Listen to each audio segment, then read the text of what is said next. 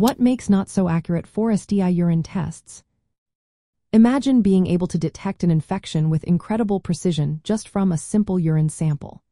That's what nucleic acid amplification tests do for sexually transmitted infections like chlamydia and gonorrhea. They work by directly identifying the genetic material, either DNA or RNA, of the bacteria or viruses causing the infection. This molecular approach is what makes them so reliable and sensitive. Unlike older methods that needed live bacteria to grow in a lab or relied on detecting bacterial proteins, NAATs can find even tiny amounts of genetic material. This means they can pick up infections early, even when someone has no symptoms. The high sensitivity of NAATs often reaches over 90%, and their specificity exceeds 99%. This means they correctly identify most infected people and rarely give false positive results. Because they amplify specific genetic sequences unique to the pathogens, they can detect bacteria that are present in very low numbers or are no longer alive. This is especially helpful for screening asymptomatic individuals or those who might have taken antibiotics before testing. Another big advantage is that NAATs are validated for use with first catch urine samples, which are easy and non-invasive to collect.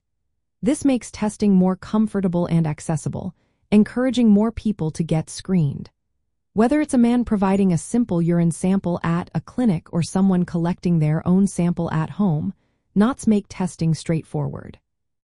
The technology behind NAATs involves advanced amplification methods like polymerase chain reaction, transcription-mediated amplification, or strand displacement amplification.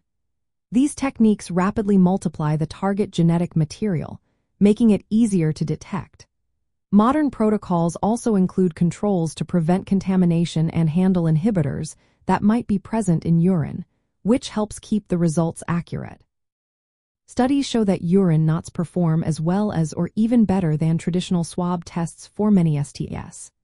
This means urine testing is not only more comfortable but also just as effective for screening and diagnosis. Because they detect genetic material regardless of whether bacteria are alive or dead, NAATs remains reliable even after antibiotics are taken or if there are delays in sample transport.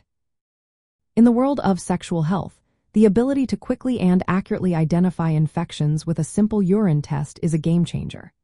It helps catch infections early, reduces the spread of disease, and supports timely treatment.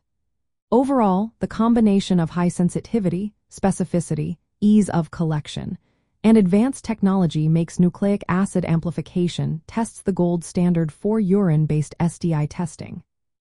Remember, always consult a healthcare professional for personalized advice and confirmatory testing if needed.